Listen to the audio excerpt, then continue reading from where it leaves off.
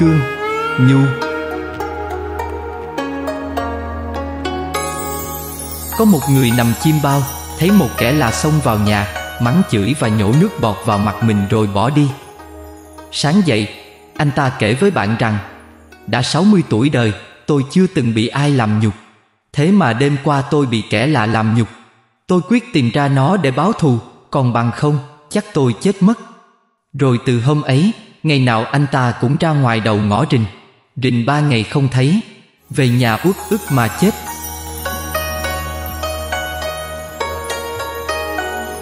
Câu chuyện thật là ngớ ngẩn Nhạt như nước ốc. Thế mà ngụ ý câu chuyện lại tỏ rõ cái tâm sự của người bị nhục. Ở đời, người ta có thể chịu được tất cả những khổ đau về vật chất lẫn tinh thần. Nhưng cái khổ đau của sự bị nhục Thật là thứ đau khổ thiết tha nhất trần đời Nên mới có câu Ninh thọ tử, bất ninh thọ nhục Thà chết còn hơn chịu nhục.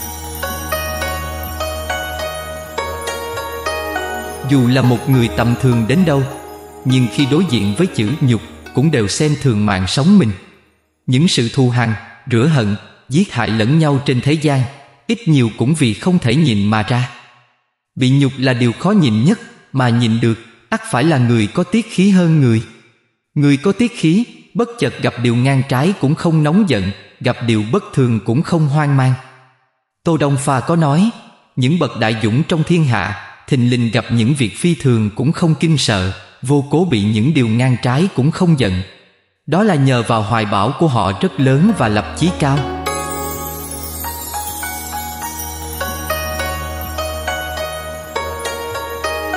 Thật vậy, Nhìn được điều mà người ta không nhìn được phải là người độ lượng hơn người, Kiến thức hơn người, Điềm tĩnh hơn người. Khác với kẻ thất phu gặp điều bực tức, Nặng thì vương mình sốc đánh người, Nhẹ thì chửi mắng tục tặng đối phương, Mặc kệ cho hậu quả việc nóng giận của mình thế nào. Tần Thủy Hoàng diệt nước Hàn, Trương Lương đêm ngày căm hận tận xương tủy, Bèn tìm cách báo thù. Ông bỏ tiền thuê tráng sĩ thích sát Tần Thủy Hoàng. Tên thích khách núp trên gò cao, Quăng chùi đập xe Tần Thủy Hoàng. Đập lầm xe Thích khách bị giết, Trương Lương chạy trốn thục mạng. Trong thiên hạ, Không riêng gì Trương Lương, Người người hận nhà Tần, Nhà nhà oán Tần Thủy Hoàng. Cũng giống như muôn người tầm thường khác, Vì không nén được lòng uất hận, Nên Trương Lương đã dùng cái dũng của kẻ thất phu, Thuê người hành thích Thủy Hoàng. Kết quả là cái chết chỉ trong đường tơ kẻ tóc. Trương Lương là người có tài năng cái thế, Sao không chịu mưu sự như Khương Tử Nha hay Y Doãn? Mà lại hành sự như Kinh Kha hay Nhiếp Chánh, khinh xuất những kẻ mạnh hơn mình, liều mạng để ngay cả tấm thân còn không giữ nổi nguyên vẹn, nói chi là cứu rỗi cho dân tộc. Lời thơ tiễn biệt mà kinh kha ngâm bên bờ sông, trước khi lên đường thích sát tần thủy hoàng, đã nói lên hết cả rồi. Gió thổi hiu hiu, nước sông dịch lạnh. Tráng sĩ ra đi, sẽ mãi không về. Từ cổ chí kim. Bao nhiêu binh thư bách thắng, chưa hề có chương nào bày cách giành thắng lợi bằng sự liều lĩnh. Trong khi những kẻ nhẫn nhục chờ thời, nép mình trong mây, chờ ngày nuốt trời nhã đất, trở mình xoay chuyển càng khôn, đời nào cũng có, không sách sử nào chứa hết. Việt vương câu tiễn thảm bại, Bị ngô vương phù sai bắt giam ở cối kê ba năm. Nếu câu tiễn không dặn được biết bao điều sĩ nhục bổ vây, Thì nước Việt ắt phải diệt vong. Từ một quân vương thất trận của một nước đại bại mà làm cho nó trở nên cường thịnh, chuyển bại thành thắng, tiêu diệt cựu thù là nước Ngô và nước Việt trở thành một trong ngũ bá thời Xuân Thu. Nếu không phải câu tiễn thì ai có thể làm nổi? Người có tâm hồn dũng mãnh như thế, vậy mà lắm lúc câu tiễn không thể chịu đựng được nữa, tỏ ý liều chết. Nhờ có Phạm Lãi khuyên can, đem cái gương của vua văn vương nhà Chu nhẫn nhìn với trụ vương, chờ ngày thoát khỏi vũ lý mà trở mình. Ngay cả thịt con trai mình là bá ấp khảo Mà trụ vương đã sai đem giết làm mắm Cũng phải nuốt lệ mà ăn Thì còn khổ đau nào hơn nữa. Khi ý chí đại sự cao ngút ngàn Thì những nỗi đau đành gói gọn lại mà bước qua. Trong khi câu tiễn phục lụy Khép nét, rụt rè Thì ngũ tử tư khuyên ngô vương phù sai rằng Con hổ thu mình là sắp vồ mồi Con cáo rút cổ là sắp cướp mồi. Nếu không giết câu tiễn Ngày này hắn nếm phân cho đại vương thì ngày sau hắn thò đầu mà ăn thịt đại vương hào kiệt trong đời họ thật sự hiểu nhau rất rõ.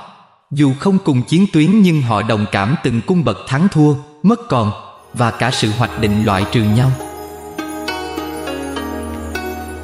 Nhu nhược thắng can cường, nghĩa là nhu thắng cương, là mềm thắng cứng. Cổ nhân nói, nuốt được cây đắng trong cây đắng là hạng người trên loài người. Đời này quen dùng cường lực để phân hơn thua, chữ nhu bị xếp ngang hàng với yếu hèn khiếp nhược. Sự điềm đạm không còn là mạnh mẽ hay hùng dũng trong tâm hồn như người xưa đã từng đề cao nó. Khi Hán sở tranh hùng, Lưu Bang sở dĩ thắng được hạng vũ, mà hạng vũ thì lại bị Lưu Bang diệt, đều liên quan đến chuyện biết nhẫn hay không biết nhẫn mà ra. Hạng vũ không thể nhẫn nên trăm trận trăm thắng, để rồi tự khinh sức mình đến nỗi sức tàn thế kiệt. Trong khi Hán cao tổ Lưu Bang, nhờ sự chỉ dẫn của Trương Lương, cứ nhẫn mà chờ, dưỡng sức chờ khi hạng vũ suy mà diệt. Hán cao tổ là người sành cái đạo nhu nhược thắng can cường, thế mà khi hàng tín đòi làm tề vương, tưởng chừng cái khí cương cường của hán cao tổ không thể nhẫn được nữa. May thay, nhờ trương lương rỉ tay dạy bảo cho, nếu không thì sao hán cao tổ làm nổi việc này. Cho nên, người đời sau bàn rằng, hán đế làm nên nghiệp đều nhờ vào trương lương dạy cho chữ nhẫn vậy. Vì không ai hiểu rõ sự tai hại của việc bất nhẫn hơn trương lương, cái nông cạn của kẻ thất phu, khiến ông một lần suýt bỏ mạng. Xét hai chữ anh hùng hay hào kiệt về mưu đồ đại sự, người xưa thường dựa vào chỗ biết nhẫn hay không biết nhẫn ấy mà luận. Có chí lớn mà không biết hạ mình, nói cho cùng, cũng chỉ là cái dũng của kẻ thất phu mà thôi. Nói về chữ nhẫn, thì hàng tính là bậc thánh. Vì nhúng mình chờ thời làm chuyện thiên kinh chấn thế, ngay cả bị một tên bán thịt heo điếm nhục chèn ép, tính thà luồn trôn hắn giữa chợ, chứ tuyệt không dùng cái dũng của kẻ thất phu để thỏa cơn nộ khí. Nếu sự độ lượng của hàng tính còn non Chịu không nổi cái nhục vô cố ấy Thì làm gì có cái tên hàng tính lưu danh thiên thu trong sách sử ngàn năm sau Một đại tướng nắm trăm vạn binh trong tay Đánh trăm trận trăm thắng Thâu tóm hầu hết thiên hạ lục quốc về cho hán cao tổ Muốn diệt cái dũng của hạng vũ, Trong thiên hạ không ai hơn hàng tín, Là người biết tiểu nhẫn để thành được đại mưu Nếu là kẻ bình thường, ắt đã đem cái thất phu chi dũng để thỏa mãn cái quyết khí chi nộ của nhất thời rồi. Những kẻ như thế mà đem giao hàng vạn tính mạng ba quân cho, thì đại sự ắt hỏng. Trương Lương nghĩ thế, và còn khẳng định rằng, nếu tìm người có sức mạnh địch muôn người thì ông có thể tuyển dũng sĩ về cho Hán Vương mấy xe cũng có. Nhưng muốn tìm một người diệt sở phá tề, đồ vương định bá thì phi người đó sẽ không còn ai nữa. Đó là hàng tính. Khi hàng tín vừa được hán cao tổ phong làm sở vương Ông liền tìm ngay tên đồ tể Người đã làm nhục mình giữa chợ khi xưa Tính phong chức cho hắn Và gọi hắn trước mặt kẻ hầu người hạ là tráng sĩ dù là mỉa mai hay thật lòng đi nữa, Nhưng sâu tận đáy lòng, Tính không bao giờ quên được cái nhục nhỏ ấy, Nên vừa được phong vương là nhớ ngay đến chuyện rửa nhục luôn trôn.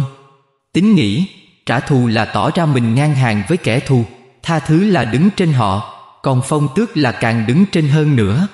Phong thưởng là để tỏ cái lòng quảng đại hơn người, Và nhắc cho hắn biết cái việc làm ngu dại năm xưa. Và hơn nữa là để hắn suốt đời tưởng nhớ đến cái khoan hồng của đấng trượng phu đã tha mạng cho hắn. Cách trả thù này còn đáng sợ hơn là một dao rơi đầu. Kinh dịch cho rằng vạn vật đều hàm chứa mâu thuẫn nơi bên trong. Trong cương có nhu và ngược lại Trong nhu có cương. Nhu trung hữu can, cương trung hữu nhược. Đạo cương nhu được ví với cái đạo lửa nước, dương là lửa, âm là nước. Dương cực thì sinh âm, âm cực thì sinh dương. Đồng nghĩa là bên ngoài cường bạo bao nhiêu, thì bên trong yếu nhược bấy nhiêu. Bạo động là con đẻ của sợ sệt yếu đuối, là không làm chủ được mình mà ra. Trái lại, những kẻ bị khiêu khích thậm tệ mà vẫn thản nhiên, trầm tĩnh, ung dung như không việc gì, lại là người có một bên trong thật hùng dũng và phi thường. Lạng tương như được vua Triệu Phong làm tướng quốc Liêm pha nghĩ mình có công hơn mà lại đứng dưới nên tức giận lắm, Đòi giết tương như. Từ đó tương như luôn tránh mặt, Kể cả lúc vào triều hay ra ngoài. Những kẻ hầu hạ tương như bực bội, Và thậm chí còn tỏ ra xấu hổ Vì làm tôi tớ cho kẻ hèn nhát như thế. Tương như hiểu được, liền gọi cả bọn đến mà nói. Liêm tướng quân có hơn vua tần không? Bọn xá nhân thưa, Không. Tương Như nói tiếp. Các người xem, Như cái oai của vua Tần, Thiên hạ không ai dám chống. Thế mà Tương Như này còn dám mắng giữa triều đình Và làm nhục cả đám quần thần nước Tần nữa. Ta dẫu hèn, Há lại sợ một liêm tướng quân ư? Sở dĩ ta chịu nhục mà tránh né là vì nếu ta và liêm tướng quân, Hai hổ tranh nhau, Thề cùng sống chết, Thì nước Tần sẽ thừa cơ đánh úp nước triệu ngay. Ta chịu nhục mà tránh liêm tướng quân là vì coi việc nước là trọng, Việc thù riêng là khinh là vậy thôi. Sau đó, Liêm pha nghe được những lời nói này, Bèn cuốn gai trên vai Trần Đến tạ tội cùng lạng tương như mà làm lành. Hai người từ đó là bạn tri kỷ cho đến cuối đời. Ở đời, người không thông cái lẽ mâu thuẫn từ bên trong lưỡng cực Thường cho rằng hệ cái gì thuộc bạo động, hống hách, kiêu ngạo, khiêu khích Là biểu hiện của cứng cáp và mạnh mẽ. Thật là một sự hiểu biết nông nổi. Chúng ta không thấy rằng những bậc đại hiền trong xã hội thường có tư cách khiêm cung nhã nhặn, ung dung điềm đạm sao? Trái lại, những kẻ thấp hèn bên trong thì bề ngoài thường khoe khoang chưng dọn, miệng mồm thường ăn to nói lớn. Thế mới có câu, xấu hay làm tốt, dốt hay nói chữ là vậy. Có một câu chuyện ngụ ngôn rằng Vua rất thích đá gà Nên giao cho kỹ tỉnh tử công việc huấn luyện và chọn gà mạnh cho vua Sau 10 ngày Vua hỏi rằng gà đá được chưa Kỹ tỉnh thưa Chưa, gà còn kiêu khí và ngạo mạn quá Chưa đá được. Sau 10 ngày nữa Vua hỏi thăm kỵ tỉnh lại thưa. Chưa, gà còn gáy đáp với gà khác Còn thịnh khí và hăng hái lắm Chưa đá được. Thêm 10 ngày nữa Vua hỏi thì kỵ tỉnh nói rằng Gà đá được rồi Giờ thấy mặt đồng loại không còn cảm xúc nữa. Ra trận là phải quyết chiến Tinh thần hăng hái phải lộ rõ ra ngoài thì mới quyết thắng được. Tuy nhiên trong đạo cương nhu thì giấu hết sắc nhọn bên ngoài, Nạp hết nhuệ khí từ bên trong. Tâm trí dững dưng với khiếp sợ, Thế mới là toàn đức. Người mà thắng được cái tinh thần của mình, Thắng được cái khiếp đảm bên trong Thì mới giữ được vẻ ung dung trầm tĩnh bên ngoài. Một tên trộm vặt, Vì hốt hoảng lo sợ chân tướng, Đột nhiên gây nên tội sát nhân. Những cuộc cách mạng trong lịch sử, Sở dĩ có những tàn bạo ghê hồn, Đều từ cái sợ mà ra. Như cuộc thảm sát Massari ở Pháp năm 1792 Cuộc thảm sát Thiên An Môn ở Trung Quốc năm 1989 Vân vân. Tất cả là từ những kẻ bị cái sợ ám ảnh Khiến trở nên tàn bạo mà ra. Điềm tĩnh không có nghĩa là bạc nhược. Ngược lại, người điềm đạm chính là người dũng mãnh nhất. Bên trong càng can cường bao nhiêu Thì bên ngoài càng mềm mỏng bấy nhiêu. Gọi là phép nhu thuật, Là thuật dùng nhu chế cương. Không có gì mềm hơn nước, Thế nhưng nước có thể đẩy thuyền trăm ngàn tấn, Có thể phá cả thành trì của một đất nước chỉ trong chớp mắt. Sự phá hủy của nó không thua gì những thứ cường bạo. Phép đấu vũ của người Nhật, Còn gọi là nhu đạo hay chu đô, Chính là dùng nguyên tắc nhu thắng can, Hay hư thắng thực, Làm căn bản. Đây là bí quyết bá thắng trong đô vật. Nguyên tắc của nó là không chống lại đà tấn công của đối phương. Để cho sức mạnh ấy không có chỗ hứng đựng mà mất đà lỡ trớn. Bấy giờ, dùng sức mòn phản công cũng đủ đại bại đối phương như trở bàn tay. Lạng tương như đã dùng phép này với liêm pha Và cả văn vương hay câu tiễn đều dùng nhu Để khắc cương với cả hai hôn quân trụ vương và phù sai. Dù tài hoa hay học vấn đến đâu Mà thiếu đi sự điềm tĩnh, ung dung Thì dù là việc lớn hay nhỏ cũng hỏng mà thôi. Dùng nhu thuật là tập mình làm chủ được lấy mình. Có những người sinh ra từ thuở nhỏ đã lộ cách từ tốn điềm đạm cả trong tác phong và phong ngôn của mình. Cho nên thô lỗ, vụt chạc, nóng nảy là vấn đề thuộc về tính khí, không ăn chịu gì đến vấn đề thông minh tri thức. Chưa phải là người có tinh thần đại dũng mà bắt chước dùng đạo nhu cương thì sẽ như thân dê mà lốt cọp, thấy sói thì run, thấy cỏ thì mừng, rồi thì chuốt họa vào thân khó lường. Tử sản lúc hấp hối nói với thái thúc rằng lửa nóng dân sợ nên ít bị chết thiêu Nước mát, dân lờn nên lắm người chết chìm. Khi tôi chết rồi, ông nên dùng chính sách thật nghiêm mà trị dân. Chính sách khoan dung, dành cho người đại đức Còn ông không thể dùng được. Thái thúc không nghe, chăm dân quá khoan nhượng Sinh trộm cướp khắp nơi. Sau đó ăn năn, nhớ lời tử sản Sửa lại nghiêm khắc mà trị dân Nên dứt được nạn đạo tặc lộng hành. Trong việc trị quốc bình thiên hạ thì là thế, còn việc thường lệ ở đời cũng không ngoại lệ. Tây thi, mỹ nhân nước Việt, mỗi khi đau bụng, nàng ông bụng nhăn nhó thì vẻ đẹp càng mặn mà. Trai làng đua nhau dòm ngó. Những trang nam nhi si tình, muốn bao bọc chở che cho nàng, xếp hàng dài tận ngoài ngõ. Người đàn bà hàng xóm của Tây Thi thấy vậy, liền bắt chước ông bụng nhăn mặt kêu la, mong được trai làng để mắt. Kết quả là xóm giềng tưởng là quỷ hiện hình, bỏ cả làng mà đi. Nhu thắng cương, yếu thắng mạnh, biết là thế, nhưng vì sức chứa giới hạn của mỗi người khác nhau, nên có kết quả khác nhau. Sở dĩ những bậc vĩ nhân làm được gọn gàng đầu đuôi là vì họ cân được cái dũng của họ là bao nhiêu. Người liêm khiết, sức chứa thanh liêm chừng vài trăm bạc, dưới số đó không sao cám dỗ được họ. Nhưng gặp phải số vài vạn bạc trở lên, họ hiển nhiên thành kẻ gian hùng, phản tặc lúc nào không hay. Tào Tháo, lúc làm tiểu tướng, là một người dũng nghĩa. Vì trừ họa cho đất nước, ông sẵn sàng một mình cầm dao thích sát kẻ đại ác động trác. Đến khi cầm quyền hành thiên hạ, Tào Tháo lại trở nên một kẻ đại gian ngàn năm có một. Cho nên, những kẻ đạo đức sa ngã, buôn dân bán nước, không phải vì họ giả dối từ trong máu huyết, mà là vì họ không lường được cái sức chứa lòng đạo đức của mình là bao nhiêu, nên mới bị đốn ngã mà thôi. Có một câu chuyện thế này, trong một đêm mưa gió, nhà người đàn bà bị sập. Cô liền sang nhà anh hàng xóm, gõ cửa xin ngủ nhờ nhưng anh ta không cho vào. Đứng dưới trời mưa giông, cô ta trách anh hàng xóm sao quá bất nhân. Anh ta liền nói, từ xưa nay, nam nữ trên 60 mới được ở chung phòng. Cô và ta đều còn trẻ, nên ta không thể cho cô vào được.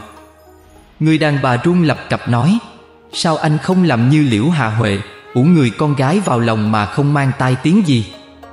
Anh láng giềng nói, ông liễu hạ huệ biết mình giữ được tai tiếng cho cô gái, nên mới cho cô ta vào. Còn tôi biết mình không làm được như ông liễu nên ta không cho cô vào. Cho nên, điều quan trọng là phải tri bỉ, phải biết mình trước, rồi mới tri thế thời xung quanh, xem bản thân dung nạp được bao nhiêu phần. Thế nên, trong binh pháp tôn tử mới có câu Biết mình biết người, trăm trận không thua. Không biết người mà biết mình, một thắng một thua. Không biết người không biết mình, mỗi trận đều thua. Tri kỷ tri bỉ, bách chiến bất đãi. Bất tri bỉ nhi tri kỷ, nhất thắng nhất phụ. Bất tri bỉ bất tri kỷ, mỗi chiến tất bại trong phép xử thế ở đời, dùng nhu thuật có thể tránh được sự va chạm đến lòng tự ái người. Lòng tự trọng, ít nhiều ai cũng có. Nếu dùng cường bạo để dìm lòng tự ái người khác, sẽ tất sinh tàn bạo. Gandhi, nhà đại tư tưởng về bất bạo động có nói, phải có hai người thì tranh đấu mới hình thành. Chỉ cần một người kháng cự là chiến tranh bắt đầu ký kết. Kháng cự là điều kiện cho người kia tấn công mình. Chỉ cần một người trong họ từ chối kháng cự thì đối phương không chỗ vịn vào mà chiến đấu được nữa. Quả thật vậy, cả hai bên bằng lòng thì cuộc chiến mới bắt đầu, tức là người uy hiếp tấn công vào sức kháng cự của người bị uy hiếp. Nếu tôi đánh anh một bạc tay, và anh đánh tôi một bạc tay, thế thì chiến tranh một mất một còn bắt đầu ký kết. Nhưng nếu anh đưa luôn má bên kia và nói, nếu chưa hả giận, thì anh cứ tác luôn bên này đi biết đâu bàn tay tôi sẽ bối rối và dừng lại không tác nữa. Vì quả thật, sự tấn công của tôi đã bị quăng vào thinh không, đã mất đà lỡ trớn vì sự không hứng chịu của anh. Cho nên napoleon mới nói rằng, điều tôi thán phục nhất trong đời là sự bất lực của sức mạnh. Lần đầu, lưỡi gươm cũng bị tinh thần đánh bại. Sức mạnh của quả đấm bao nhiêu, phải nhờ vào vật hứng chịu nó thế nào thì mới biết. Dùng nhu thắng cương tức là lách mình cho cái đà tấn công của đối phương đánh vào chỗ trống không. Càng dùng sức mạnh bao nhiêu, thì càng bị quăng ra khỏi vòng sớm bấy nhiêu.